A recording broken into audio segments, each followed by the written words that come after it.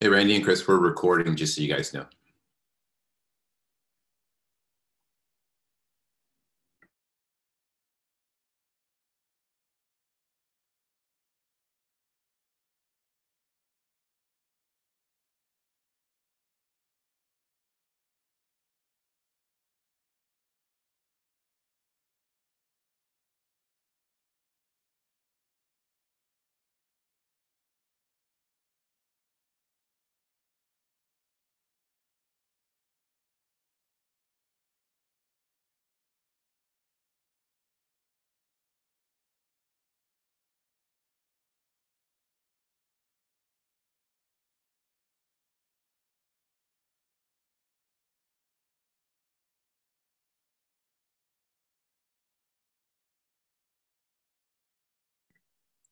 Hey, Ben, how are you? I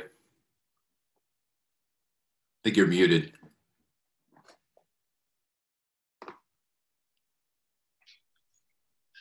Steve, can you click on uh, gallery view? Sure.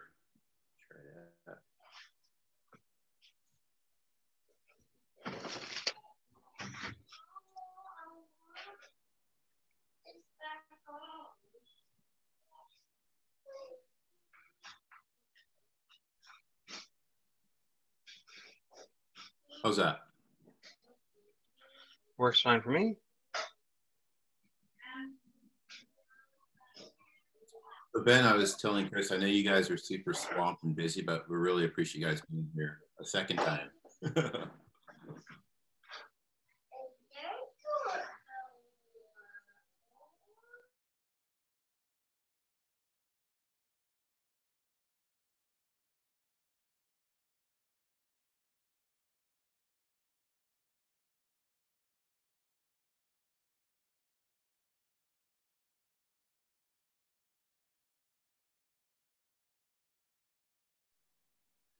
Okay, we'll go ahead and start in about a minute.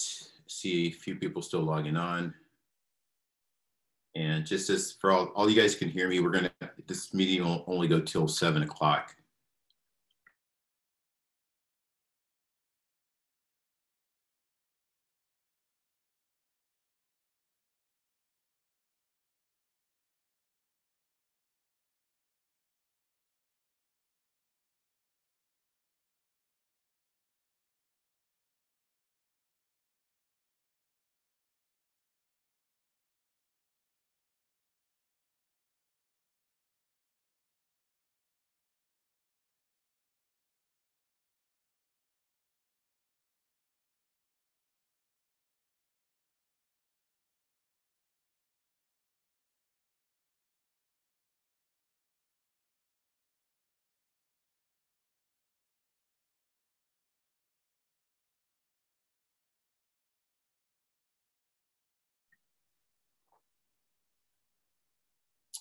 Okay, it's six o'clock. Uh, we'll go ahead and get started.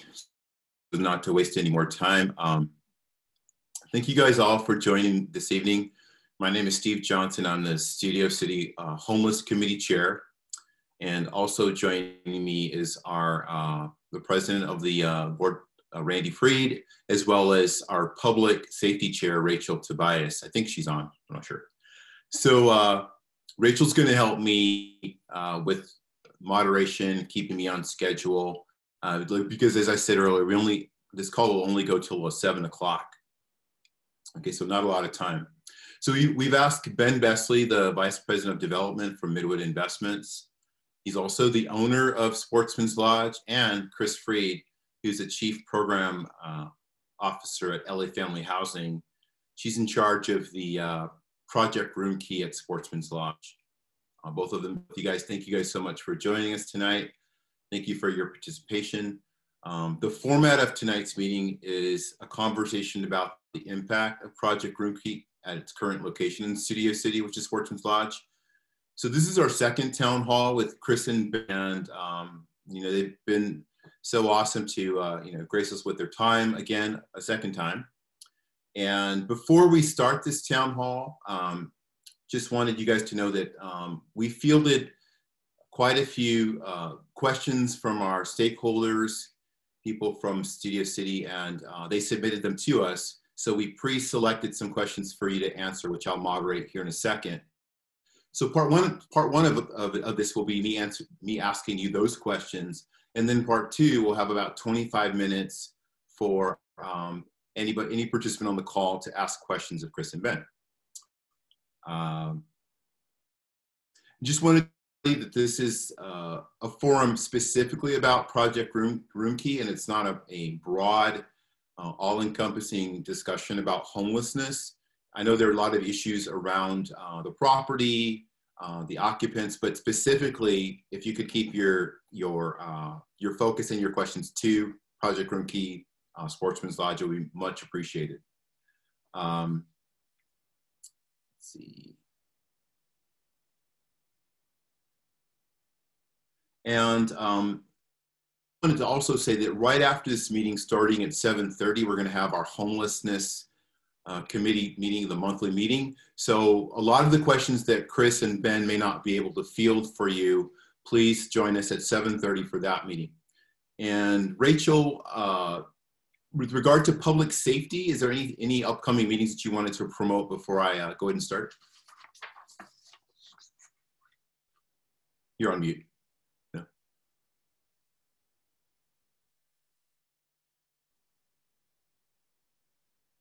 Okay, she's having some technical difficulties.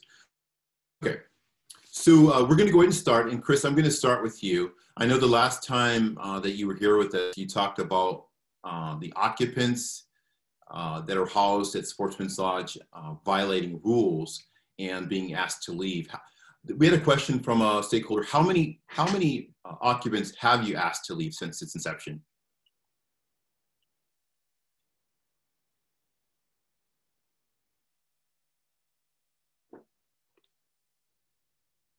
Can you guys hear me?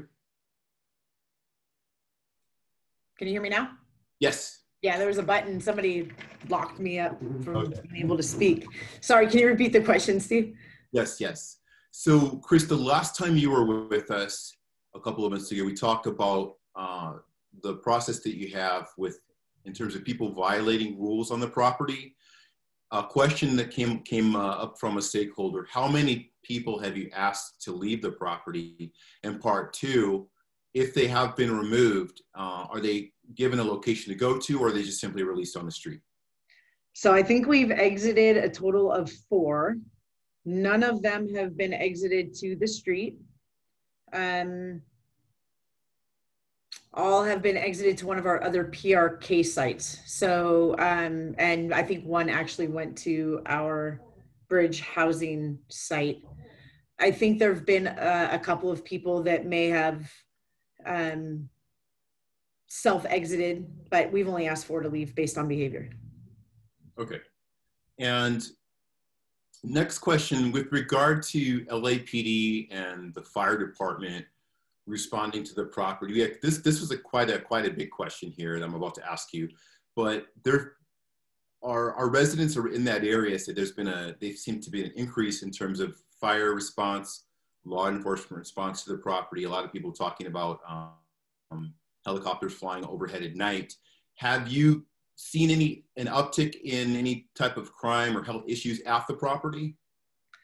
I think in with regard to increased um, paramedic and or increased uh, law enforcement you know you're instead of the folks being kind of scattered throughout in different parts of studio city now they're all kind of congregated in one site um, and so we do have people remember this is a covid positive site and as such we have people that are highly vulnerable many of them are are elderly um, and just more sick, sickly i guess in nature is probably the best way to describe it and so yeah we we have quite a bit of um, fire department response to the site um, but primarily around health uh, all around health related issues. Some of those um, have been mitigated because we've been able to bring on a health clinic that's doing mobile um, medical services. I believe it's twice a week.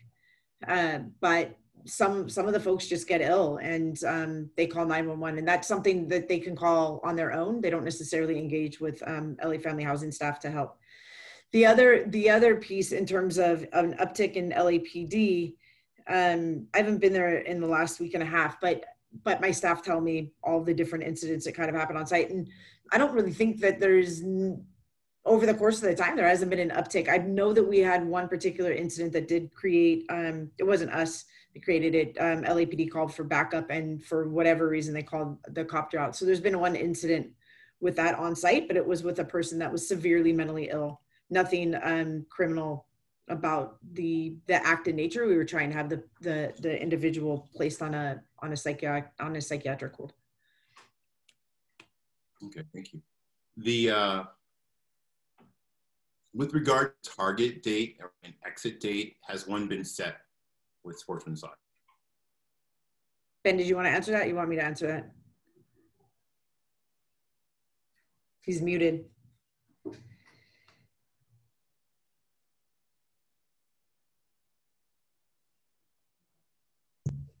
So Rachel, do you know, uh, are you able to unmute? You and I may not be working from the same information. So I'll, I'll happy to tell you what I've heard, and then you can tell me if you've heard the same thing. So um, our original contract would take us through November 18, no, something around mid-November. Um, and then we would, we were intending to extend it at least through mid-December. That was our intent. Um, we have had some conversations and some emails with um, some people at the City of Los Angeles General Services Administration with whom we negotiated the occupancy agreement, and there they may be um, ramping the program down to end by the end of November.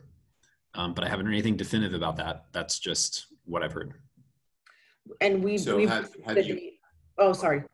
We've actually received the date of November 18th and have been receiving phone calls from LAHSA in terms of the demobilization.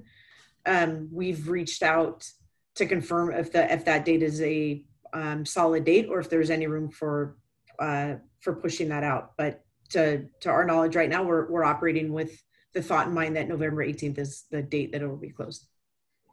okay, so would it be correct that, Ben, you haven't signed a renewal of that agreement as, as of yet? Is that correct? Correct. So with regard to, I know I, I've, uh, since, since my appointment, I've attended so much training, but one of the things that I attended was uh, how Project Room Key downsizes. And I was told that it takes roughly, I believe it was five or six or so. So with November 18th, that's about five weeks, about four or five weeks away maybe. Have you started the process of, of downsizing? So the way that it basically works is that once we get a, a mobiliz, a demobilization date, that that doesn't necessarily mean we start downsizing. Uh, we're actually um, don't look at the potential of downsizing until two weeks out. So if somebody, if we're able to move someone into housing uh, between now and November, I think it's around November 5th or 6th, I think was our date. Um, we'll continue to bring people in with the thought of the last two weeks really focused on um, moving folks out. We do have um, plans in terms of how we're going to move folks out, where they're going. Um, a part of that will be into other PRK sites uh, that are still open. Some of the folks are moving into permanent supportive housing. Some are moving into market rate housing of the folks that we have in there right now. And others, um, we will be working with um, our other shelter sites.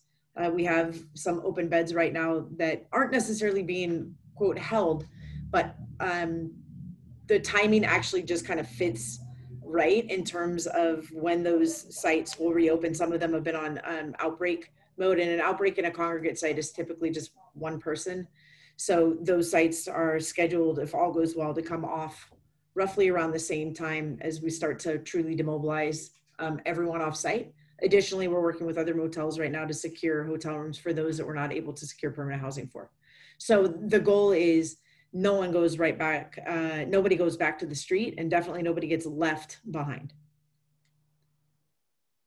So with regard to the November 18th date, I just want to just go back a little bit. As of now, there hasn't been a demobilization effort. You haven't started that.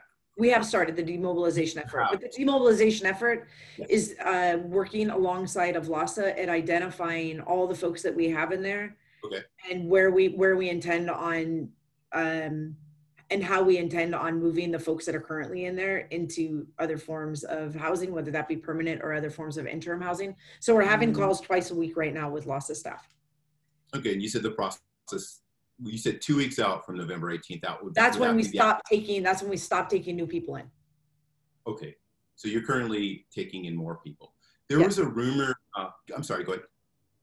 Okay. That was it, just yes. There's a, there's a rumor with regard to the property, and either of you feel free to answer this, that, uh, well, let me back up a little bit. So of the 148 rooms there that, that are utilized, there is uh, thoughts of potentially 40 more rooms opening up. Is that correct? Has that happened? Uh, no, that has not happened. Okay, so it's still at the 148 number? Yes. Okay, okay. yeah, thanks for clarifying uh, that that uh, factor because as the community and please please I know that as we're fielding these questions, these are people that live next to the property, across the street, behind it.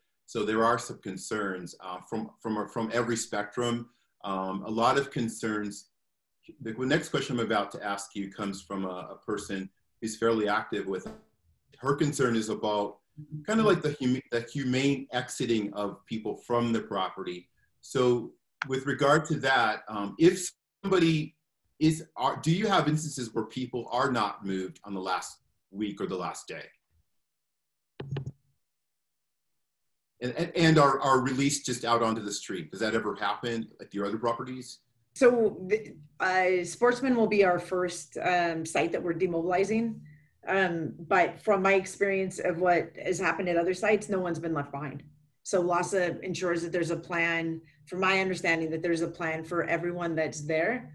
And uh, on the demobilization calls, they're very clear about um, going through one by one every week, uh, twice a week, every name of every participant that we have to ensure that there is a plan that we're moving forward. Now, people may choose not to follow through with that plan and go back um, to wherever um, they feel the most comfortable. But again, most if if the folks were not from that direct area, meaning on Ventura and more specifically Ventura and um, Laurel, that the likelihood of them just pitching a tent right there is is not likely. People go back to to where they're most comfortable and um, from you know where they have friends or um, other more community kind of connection. So I don't think, if I remember correctly, when we were when we were doing a lot of the drive-bys and setting up sportsmen, there was nobody on the corner of of Laurel and um, uh, Ventura, and I don't I don't think that that would be the case when we close down. Uh, Chris, if I can follow up with that, sorry, sorry, Steve. So the, the twenty percent that LA Times reported that are, um, are back out on the street, that's from choice, not from Yes, lack of housing. Okay. Yeah, through the CARES money, there's been plenty of money to to ensure uh, other movement, but sometimes the participants don't want to go. So Okay. And then um, the perfect segue, uh, I wanted to clarify something. This, this also came up quite a bit when we talked to our stakeholders. So in, your, in the last town hall, you stated that um, most of the occupants at the property are from Studio City, but then you also later stated Studio City area. So can you clarify that for the community? Because people weren't sure if you meant like Sherman Oaks Valley area Studio City or actual Studio City. So I, re- I'll- mean, the only way I can clarify that is I received from Ben a list of uh, encampments that were um, of direct, um, the, the encampments in Studio City. I'm assuming they were all from inside of Studio City or the uh, maybe border to Studio City. I'm not exactly sure, but the, the, the encampments that seem to create the most amount of complaint. And those were the encampments that we um, went to uh, to bring people indoor from Studio City. There were uh, some folks that came in from uh, some of the surrounding areas because we were only allowed to bring in at LA Family Housing. Our our target was there was 148 rooms. Uh, we were only supposed to bring in half of those rooms. We ended up bringing in more than three quarters of those rooms directly from from the encampments that um, I received from um, the sheet that Ben had sent to me. The rest came from Los, what they call LAHSA Call Center, And LAHSA's Call Center is also pretty specific about trying to make sure that people are coming from the community into the site. But I don't have the numbers of exactly where those folks are from. I just know that they're from the area. And, and, and we really appreciate the clarification because, um, you know, I, you, you know, potentially it was just misstated, but so to clarify the area, not, there's no data up that they are from. I don't, I don't, yeah, I don't have LAHSA's data from, from, the, from the rooms that they took. Okay. Here's, here's a question that I know the answer to from my last one, but a lot of people are asking us as a committee. So I, I see a guy on the corner of uh, walk and don't walk, whatever.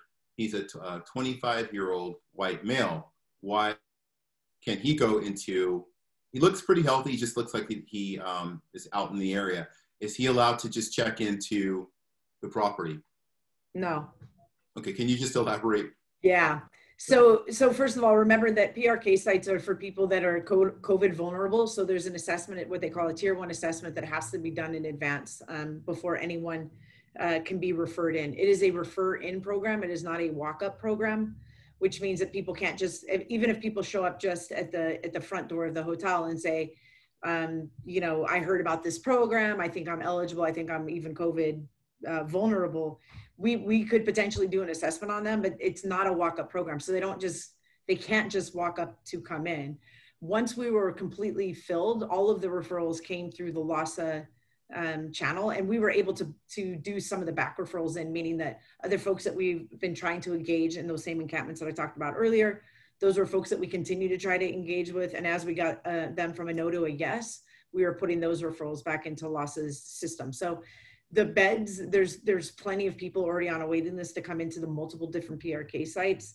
Um, and um, i think probably the only time we would ever make an exception on a walk-up is someone so severely ill mm. um, that if there was a room which typically almost always there, there isn't but if there was one that we would do a back referral. That doesn't necessarily mean they'll make it into that site. We would probably refer them to another site. We try to really really discourage anybody from walking up or telling their friends to walk up at these sites and then uh, with regard to COVID, just just clarifying that this is not a COVID uh, facility. Is that correct? It is not a COVID positive facility. It is a facility where we try to house folks that are uh, COVID vulnerable, meaning that if they were to, um, to contract COVID nineteen, that that they're more likely um, to have severe reaction to COVID, Correct. including testing at the site.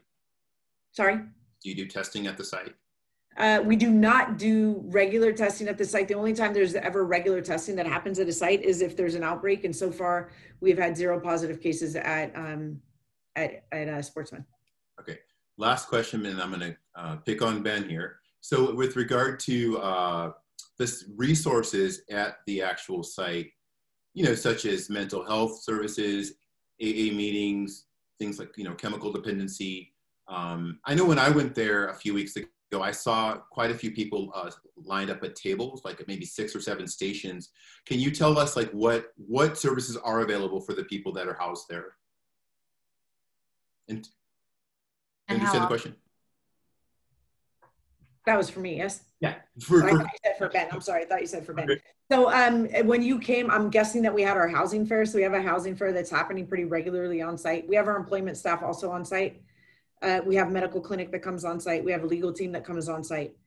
But I would say that the one that gets the absolute most um, uh, traction is the housing fair. We have our housing location team that comes on site. So we have units that are available. We bring a whole host of cars um, to be able to, to transport the participants to go look at units that are available um, and that we have um, negotiated out with um, landlords to hold on to while we're trying to connect the right people to. So um, we have a, a, host of navigators uh, that particular day. That's happening every week.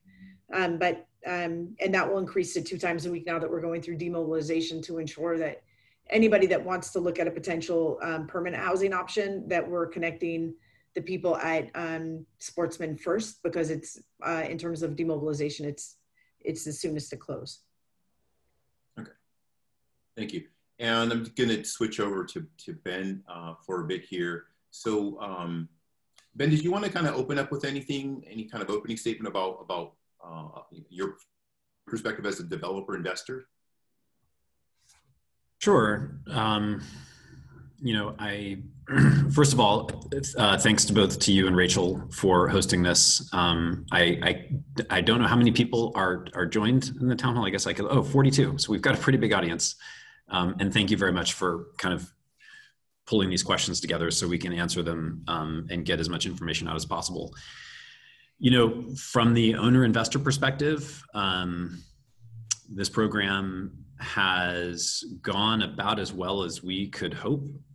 Um, and you know, I think we we certainly um, have seen you know a, a, handful of incidents that I think represent you know some of the some of the toughest uh, you know circumstances that people are in.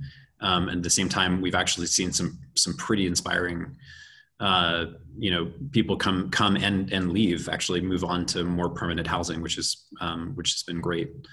So um, you know i think that if uh, if the program does end up ramping down sooner meaning like by the end of november i think it will uh, you know we'll do whatever whatever the city um, and LAHSA require um, but i think that it, it would be um, disappointing for us primarily because you know this has been a big effort on on the on the corporate side to understand how this program works.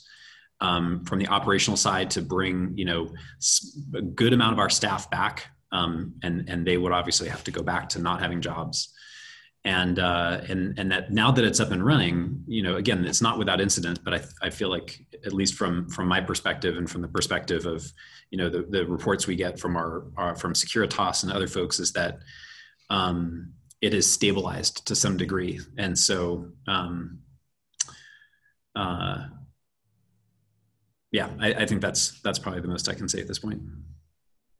Thank you. So a couple couple specific questions let's see, it was reported uh, that your firm receives roughly half a million dollars per month, uh, funneled through the CARE Act, the city and the, and the, uh, the state, uh, county government. You know, you get that those funds. And I'm not gonna I'm not gonna grill you on your your your balance sheet, but I do want to ask you with regard to uh, additional security. Have you invested in that? I know from our last call there were um, I think we when we when we did our walkthrough we counted about eight security guards and this was like four o'clock in the afternoon, which I thought seemed pretty adequate since most of the activity is in the daytime. But have you upgraded that since that time?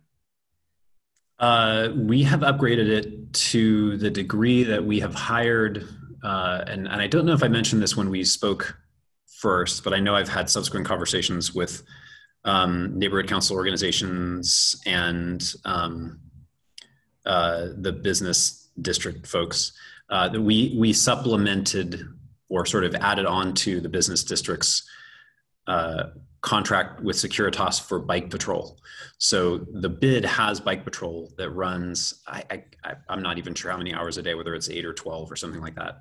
So we actually added an additional um, eight hour shift. Um, so that person and, and, and the bid also relocated the station of the bike here to the property so that all of the, all of the um, uh, shifts begin here. So the bike is kept here and the phone chargers are kept here and everything. So, um, and, and that was our effort to try to understand, you know, we, we were starting to get a lot of reports of different incidents happening around the neighborhood up and down Ventura Boulevard, and in some cases in some residential neighborhoods, and trying to get a sense of how much of that, if any, was was from one of the clients here. And so the directive that we gave Securitas was to, you know, work closely with the staff, the LA Family Housing staff, and you know, get w- within the bounds of privacy, you know, get to know the residents and understand, you know, of the of the people that stay here, a vast majority of them never leave. A vast majority just stay in their room and watch television and get you know different treatments and such. Um, but for those that do go off, you know, start to understand where they're where they're going to, and if there were incidents that involve um, clients, that we would get some information back on that, so we could try to pass it back to LA Family Housing and, and do what we could. With regard to, um, and I know that things. I know that with you, you shared last time, this was a blessing in a sense because it enabled you to kind of sustain since you're not building. You know, you have uh, funds coming in. Of of of what you do get, um, would you be willing to invest in a patrol patrol response, such like a vehicle response? Um, is this a question a particular yes. person? Yes. Uh, no, the answer is no.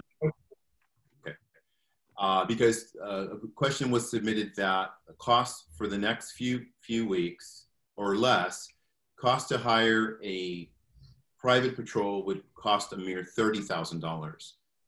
You would not be interested in investing in that. Is that correct? Uh, the answer is no, and and you know I, I, I have a strong feeling I know who submitted this question. Um, the, the, the revenue figure you stated is not reported. This is not reported because it's supposed to be private information. So, however, this information made it out was uh, probably uh, a violation of somebody's duty at work. And uh, if that person is ever, you know, identified, I think that could be a real issue. Um, but for the for anybody who you know understands the, how the program works financially, yeah, we're paid a rate every night for the person who stays here. It is 60% of what our normal rate would be. And we still staff this hotel and we still pay the utilities and we still pay the insurance and we got to keep the pool running. So, you know, you have to remember there's a cost side of this as well. There's a startup cost to it, there's a fencing cost to it, there's an additional security cost to it. So, you know, if if there's a if there's a sense that this is a windfall, uh, that's not at all true um, and we've uh, we've done what we feel is appropriate to try to understand what the issues are. But um, you know, I, I, I don't. I, I think having somebody in a patrol car might make some people feel better that you know if some incident happens that somehow patrol car is going to number one know that it's happening number two you know speed in that patrol car to do something sorry that's my light hold on a second there we go I stopped moving. Um, uh, but it, you know, it's I, I I think that it's um, I don't know how effective that is, other than giving people a sense of that security. And for for that cost, it just doesn't seem necessary. So, would I like to be able to spend a lot of money and make everybody feel comfortable? Of course, I would. But I number one, I don't know that I would ever feel if if if, if uh, everybody would feel totally comfortable. Number one, and number two. Um, uh, you know, it, it's we're, we're trying to have a, sense of proportional proportionality to, you know, a, a, response. So I think that's my answer. Ben, as of um, from last meeting, you actually contradicted yourself. You said you would consider uh, a patrol service in the area. Mm-hmm. Um, you know, I spoke to uh, R- Ralph's across the street, and they report incidences daily, if not several times a day um, and they've had a reduction in in their income of 25%. Um, this is a, an issue, um, whether you want to take it seriously or not. Uh, I hope that you will reconsider that. Um, I, appreciate the information. I've actually had direct communication with one of the senior folks at Kroger, um, and I've heard that I've heard that same thing, but we've not been contacted by Kroger about this. Um, I am not an expert in policing or security. Um, so I'm not, you know, I don't, I don't know what to say other than, you know, would, would somebody in a patrol car be better able to respond than somebody on a bicycle? Would they be more likely to actually have a, a conversation or contact with people? I don't know. Um, so I didn't, and I apologize if I, you know, if it sounds like I'm contradicting myself. Would I, would we consider it? Sure, we, we would consider it, but instead we've spent the money with Securitas to enhance the bike patrol. Okay, at this point, um, we have about 25 minutes remaining. And so we're gonna open it up to the floor um, and reiterate to everybody that um, we have a limited time. So if when, as Rachel calls on you for your question, if you could limit your dialogue to under two minutes. And uh, Rachel, I'll go ahead and turn it over to you. Thank you. Just get my uh, timer up.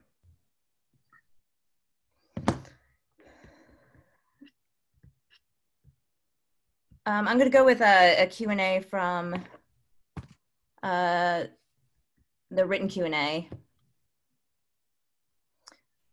Uh, from anonymous attendee, I'm confused. First, it was stated that the people won't go back to Laurel Underpass. They'll go back to where they are comfortable.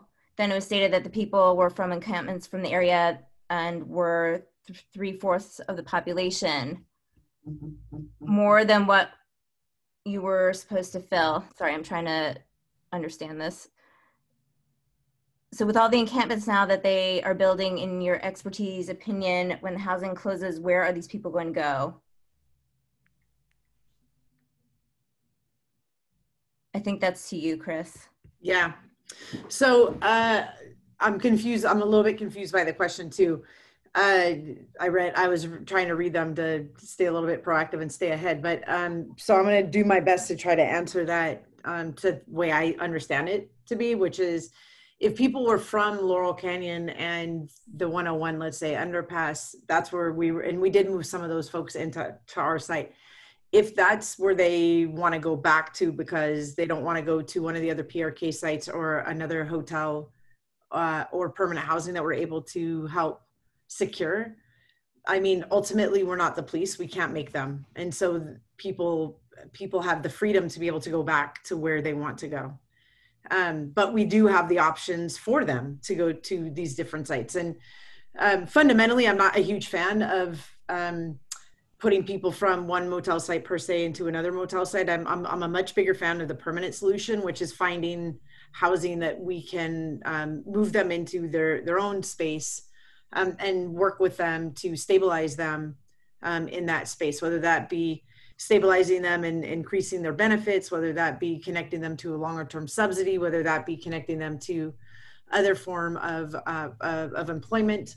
Um, that that for me is more ideal but ultimately, I think um, LAHSA, um, when they opened PRK, and when I think even the governor had opened PRK, there was a commitment to the communities that that the goal wasn't just to move folks inside for a short period of time and then open the door when this when the date came and push everybody out and say good luck. I think the goal all along has been to help um, the folks that we have inside secure something either some other form of interim or something obviously the the the bigger goal of finding them permanent housing. So we're committed to that. We're committed to working through all of the folks that are in that site to getting them placed somewhere. But ultimately they are the ones that have to agree um, to those sites. It's unlikely that i'm going to find another hotel um, along ventura boulevard um, or in, in that area or the um, number of rooms that i need for any one group. I mean ultimately we've had conversations too i think with the council members office and other folks to see how far back this could be pushed because you know with the holidays coming up um, and with covid with the expectation of covid to resurface at an even um, stronger um, uh, even uh, uh, i guess a greater wave if you will during the winter months it has been predicted. And so um, we're not looking to shorten the timeline, but ultimately we're living within the constraints that we have. And so if November 18th is a day, then that's the date that we're going to work toward getting everyone placed into some form of other interim and or permanent housing. There are dollars for that. Aiden asks, why aren't the security guards patrolling the adjacent river path? I think that's to you, Ben. Um, that's a good question. I actually had had directed the folks at Securitas to to make that um, part of their route. So if if that, I'll, I'll confirm that uh, they should be. Okay. Um, is there a, oh, Todd asks, is there a curfew for the residents staying in the hotel? How are they tracked? So PRK in and of itself does have a curfew. Um, but we know that with the population that we serve, if we are firm on a curfew, the reality is is that they'll be out roaming the street. And so, from our perspective, um, um, it doesn't make sense to do that. I'd rather have people sleep inside than stay outside and roaming the street. I think, but but back to what Ben was saying, the vast majority of the people that we have indoors don't leave very often. There's some that do, but the vast majority they're just happy to be inside in air conditioned in an air conditioned room with food kind of coming cable tv um, a bathroom to use uh, and utilizing the services that we're bringing on site to try to get them um, more permanently placed. So um, there are there are some people but ultimately a curfew um, all that would do was to shut them out and they'd be sitting out on the corner of ventura and laurel canyon waiting for the morning. So it doesn't make any sense uh, I'm going to open up to people with their hand raised. Uh, Scott Mandel, go ahead and unmute yourself. You have two Uh, hi, everybody. Scott Mandel here. Uh, the topic of my question is transient registered sex offenders. The list from the California DOJ tells me there are dozens of transients, that's, those are their words, registered sex offenders in Studio City and in the surrounding area. The list also tells me who has registered Sportsmen's Lodge as their address. So my question is, do you have a policy that encourages the transients who are registered sex offenders, if there are others at Sportsmen's, to comply with the law and register their current address as Sportsmen's? Thank you. Well, I think that anybody that has a sex of that that that's convicted of a sex offense and is a required lifetime um, person to register, I think that that would be on them. I mean, we're not running people for that background, so I have no idea who that who those who those folks are. I, I'm I'm not sure as to the question. I, I think there's lots of housed sex offenders also living in Studio City. I think if we were to pull that up, I don't I don't think that there's necessarily that big of a um, matter of fact i think there's more housed sex offenders than there are unhoused sex offenders in the area. Um, but we don't do background checks. Uh, and we're not a law enforcement agency but we do tell folks like if there's some if there's any type of legal help that they need or if there's anything that's going on it's always better to be more transparent and to do the things that they need to do to be able to get their life in order. I mean obviously uh, the vast majority of people that came inside to these sites, they're looking for um, some level of help. They knew that that the agreement to coming indoors wasn't necessarily that they had to participate in case management, but that there was going to be an awful lot of people um, really working hard to to get them housed, and that that through that work, um, we needed to have a better understanding of who we were working with. So again, we don't we don't do background checks. Um, but if they've if they've registered there then i you know i haven't looked so i don't know i apologize Okay. Um, caller number, I'm sorry, five, starting with 561, ending in 713.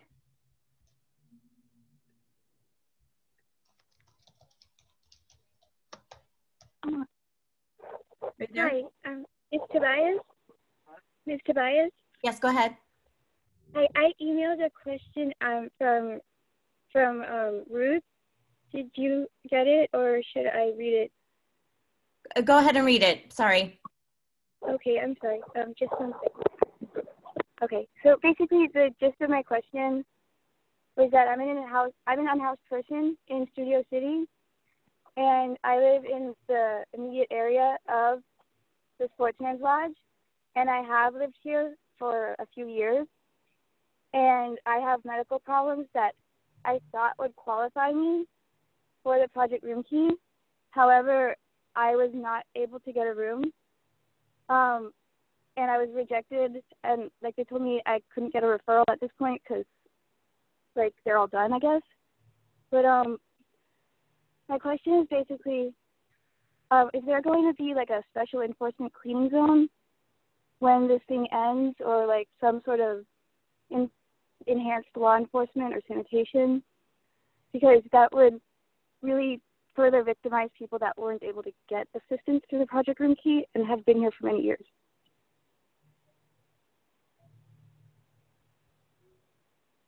i don't know that i understood that question if that was for me Okay, what the question is is like when there's a bridge house or in Project Room Keys in other parts of LA, there's special enforcement cleaning zones or enhanced law enforcement or both. So there's basically a lot of encampment sweeps, a lot of arrests, and further displacement for the people who weren't able to get assistance through the Project Room Key or the bridge home that it's by. So I was wondering if there was any plans to implement something like that in November. that i don't know I'm sorry, the caller, what is your name? Ruth. Ruth. Um, Ruth, I'm really sorry to hear that you weren't able to qualify. And um, to answer your question, we have not heard of any sort of uh, enhanced sanitation or, or uh, law enforcement um, that would follow this program. And I Okay, hope I hope that you don't I hope that you don't give up trying to find some place to live. In the, in the interim, Ruth, uh, if Rachel can provide, or Steve, if you can provide uh, Ruth with my contact information, um, uh, I can help facilitate placement, Ruth. Okay, thank you. I emailed the question. Are you able to respond to it with that information? I, I as of today, I did not receive it. Who forwarded it to me? It was late. It says roof, roofless Ruth at Gmail. Um, it's to R Tobias at Studio City Neighborhood Council, I think.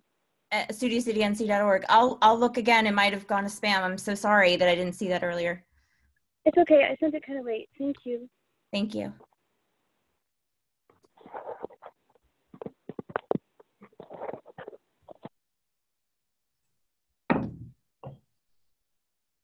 Uh, sorry. I have one from uh, Patrice Berlin. Hi there, how are you? Um, so I have a few questions. Uh, first of all, Ben, it was not me that asked that question about the patrol. You can verify that with Randy. And that contract was gotten legally by somebody other than myself, but it's a legal public document. So you're wrong about that. Um, secondly, so you're saying that you have, um, so there's more bike patrol. I've never seen one in the neighborhood. I've never seen one. But so you're saying that BID has increased their bike patrol. Does that mean they're paying for it or Sportsmen's is paying for it? And then you said you've added one eight hour shift to the bike. So that means Sportsmen's has added one eight hour shift, but they're not in our neighborhood. We've never seen any of this security in our neighborhood. And uh, quite frankly, we're afraid to walk our streets now. Talk to anybody uh, in the immediate neighborhood. We won't go down Ventura Boulevard anymore. We won't go down in the river anymore. We won't go on Coldwater anymore because all of these new strangers are in our neighborhood. So, and one more thing, uh, you say the uh, fire department, et cetera. They, uh, I, I have information that the fire department is there three to five times every day because of this situation. And you're saying, well, it's COVID related people that are sick or whatever. But then on the other hand, you're saying nobody's got COVID there. So, so are you saying that there hasn't been any fights, no overdoses, no crime, no, uh, uh, uh, nothing has happened like that? It's just people that got sick because that's not what I've heard. Ben, do you want to start and then I'll finish with the, the last? Yeah. Um, you know, I, I think um, I, I don't have a specific response, Patrice, but I will, uh, and I, I'll have to let Chris answer the question about you know in, it, what the incidents are happening that are that are drawing the fire department here. Um, you know, I have I, I, I don't spend as much time in this neighborhood as as you all do, um, but I do spend a fair amount. I'm here, you know, usually ten hours a day, um, and I was actually here the other night. Uh, and I sent you a message about that because I walked up an down Ventura Boulevard, um, drove over uh, when I heard that there was some some folks uh, on Ventura that that shouldn't have been. So, um, you know, the the fact that that you or anybody doesn't feel safe walking down Coldwater uh, is terrible, and I'm and I'm very sorry to hear that. Um, I I think that you know there are when when we have programs such as this, you know, this was a difficult decision for Midwood to make to take on because it's, you know, it comes with a, a whole host of risks um, that we had, you know, we, we, took a lot of comfort in the fact that we visited other locations. We talked to Chris. I happen to have, you know, several personal connections to Chris and to LA Family Housing, and so had a great amount of faith that this organization could really do what they what what was described as they would do. Um, but nonetheless, you know th- this is the, the population by definition is they they are they're they have challenges and and occasionally that leads to you know medical issues it, it leads to self-harm it leads to erratic behavior like when we can't help that but there's no there's no way to help this population um, without starting and without trying. And so, you know, to the issue of security, um, we we have enhanced it. Um, we we pay for it. What we did is because we wanted to onboard it quickly and not go, you know, interview security companies and figure this stuff out. We said, look, the bid has a contract. We're just going to augment it. We're paying for it. We are paying for the additional time, so it does not come out of the bid. And by the way, the Sportsmen's Lodge property is the third largest contributor to the bid every year. So we we would pay for it one way or the other. Um, but I mean, I think it, I'll I'll just close by saying, and I want to turn this over to Chris, that um, you know, a, a truly, I, I, hear you, Patrice, and, and other folks that have concerns. I, I, read every one of your emails. I read my security reports every single morning. Um, I, you know, there's no doubt that some of the activity that's happening in this neighborhood is I, I, don't know, it's anecdotal, but I, it would be hard to believe that it doesn't come from some of these clients. Um, but it is it is something that we can manage to a certain degree, and the rest of it is, as I've said, it's about just hearing from from you and from others, and trying to respond to it as best we can. So I would say, with regard to, uh, there has been zero cases, confirmed cases of um, of anyone that's staying in um, the sportsman uh, uh, of a positive COVID test. Uh, we had someone that was about to enter that um, actually got uh, her test read, and so we were in process of facilitating her move in, and um, and then moved over to a QI site because it was more appropriate um, because she was positive.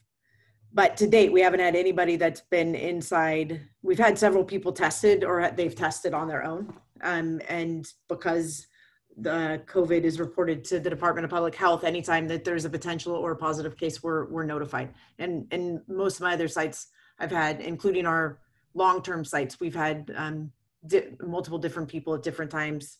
Um, not multiple people at the same time, but people that have come and go that have have been positive.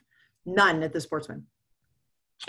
Um, but there are, uh, you know, when you're dealing with folks, primarily folks that are, um, if if um, so the rule of homelessness is for the chronically homeless so for folks that have been outside for a long period of time 48 is their age limit. So for a senior status for someone who's living outside 48 is it. So for anyone on the phone who's 48 uh, imagine if you yourself had been living outside the likelihood that you would see the age of 49 is not great so when we get a bunch of folks that are 48 um, through the 65 age which is um, the, uh, the starting age theoretically for um, an automatic into a COVID uh, vulnerable site. Um, uh, I mean, these these folks have a lot of issues. They've been outside for a long period of time, and so they have a lot of medical issues.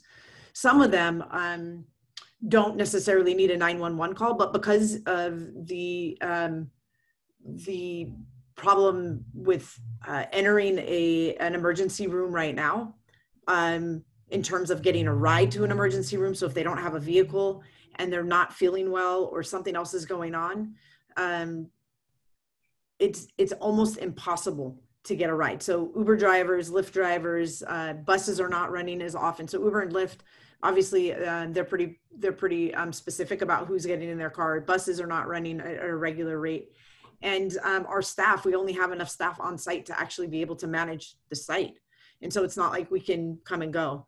So there is somewhat of an agreement or an understanding with the fire department that if we feel someone is severe enough or that needs to be looked at in a way that otherwise um, uh, they would go to the emergency room, the, the calls are being placed. Um, so you're saying none of these calls from the fire department are uh, criminally related? I, we haven't had any overdoses. The hotel, nothing. Well, maybe Ben can. We haven't had any overdoses to my knowledge in five that I can remember that I don't know of. Do you know of any Ben of no. actual overdose? No. I don't know any at, at, at, on that site. Now that's not to say that people that might that might uh, they might call for themselves because they think they're having a medical issue that might be related to drug usage. That's that's possible, but uh, actual overdoses, to my knowledge, we haven't administered any Narcan on site, and I can verify that tomorrow with my staff, um, and definitely report back to Rachel if I've misspoken. But I usually get the calls of the overdoses, and I haven't heard of any at that particular site. We have had um, we have had people, I think Ben spoke to this. And one, one of the things that I actually really appreciate, but I don't know if I've said this before, one of the things I really appreciate is people that have worked in this field like me for a very, very long time, um, the compassion, understanding, empathy.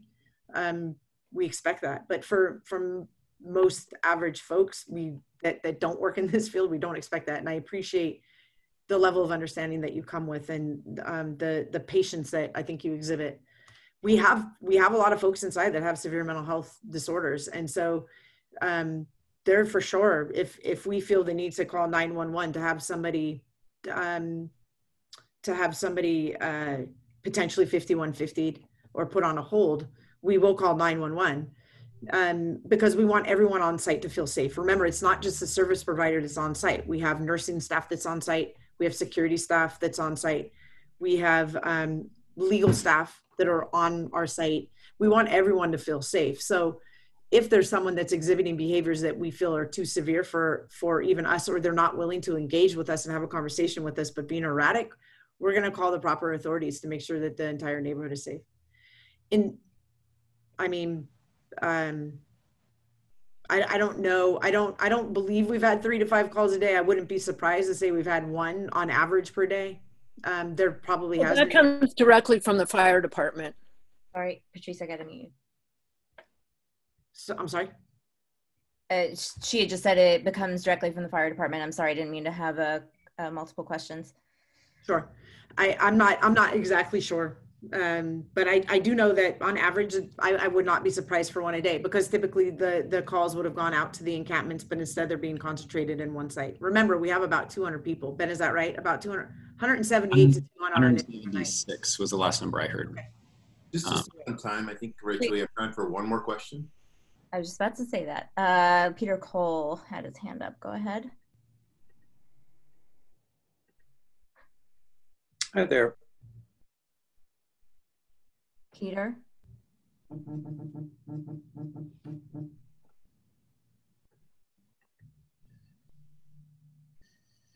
Peter? Can you hear me now? Yes. Hey there. Um, ben, a question or two for you. Question and a statement. So if Project Room Key um, gets funded and can come back in six to eight months or a year, how would you feel uh, once your um, project is fully up, all your stores and restaurants, if the Park Motel decided to do Project Room Key? Also, um, walking in the neighborhood, I walked in front of Sportsmen's. I really don't understand how you can allow room key guests to hang out in the bushes in front of Sportsmen's in the evening. It's really scary. Um, I spoke to another um, board member of the neighborhood council who told me that um, she used to walk up to the boulevard and she no longer does. I don't walk up there at night anymore. It's too scary. Are you at all concerned about the um, fallout from this and how long it's going to take for the community, the local neighborhood to feel safe walking in the neighborhood to walk up to your project once it's complete?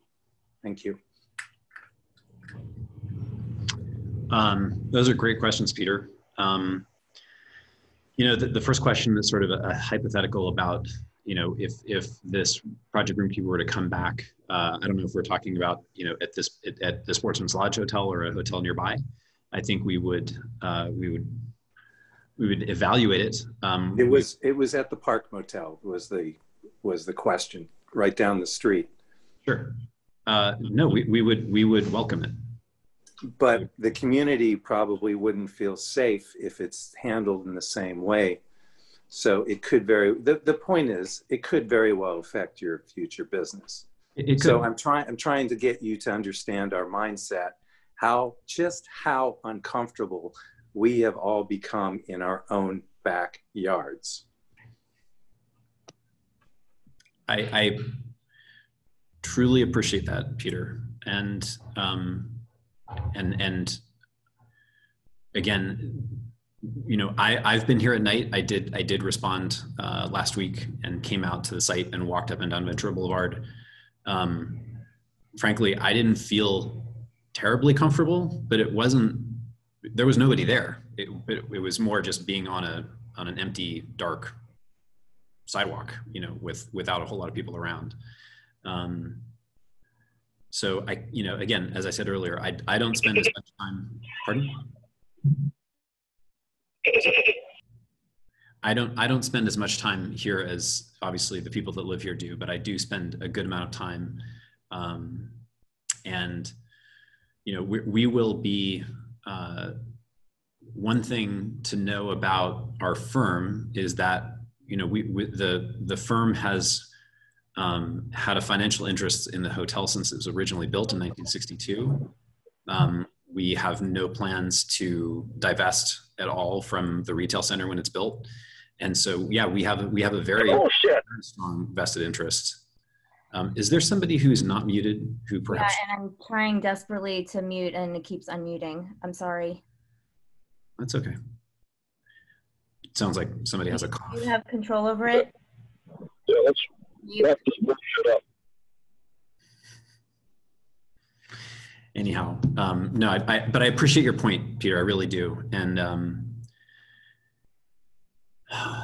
you know I, I think that i think that you know beyond what you know what this uh, the arrangement with project room key the occupancy agreement we have the financial arrangement we have you know the obligations we have you know for the property um,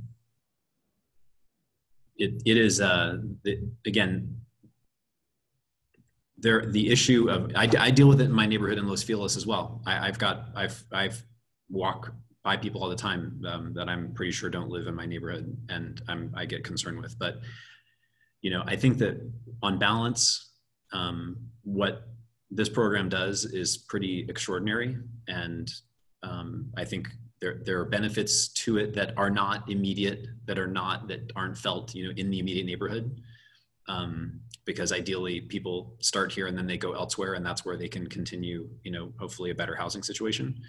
So i know that doesn't give you much solace because that doesn't change you know the way you feel when you walk up and down coldwater um, but i i i hear you and and i and i've you know i've i've felt the feeling myself here both here and in my own neighborhood okay um I'm afraid that's all the time we have. So Chris and Ben, um, these are tough questions, but we, uh, first and foremost, we really appreciate being upfront and honest about it because I think it only builds a better rapport with the community. As has been mentioned, once this ends, I'm sure there'll be another phase to, um, it may not be our committees, but you may be working with other committees. So we appreciate you coming here. Um, with that being said, we're going to go ahead and close it out. Um, Randy, did you have any last minutes stuff? No?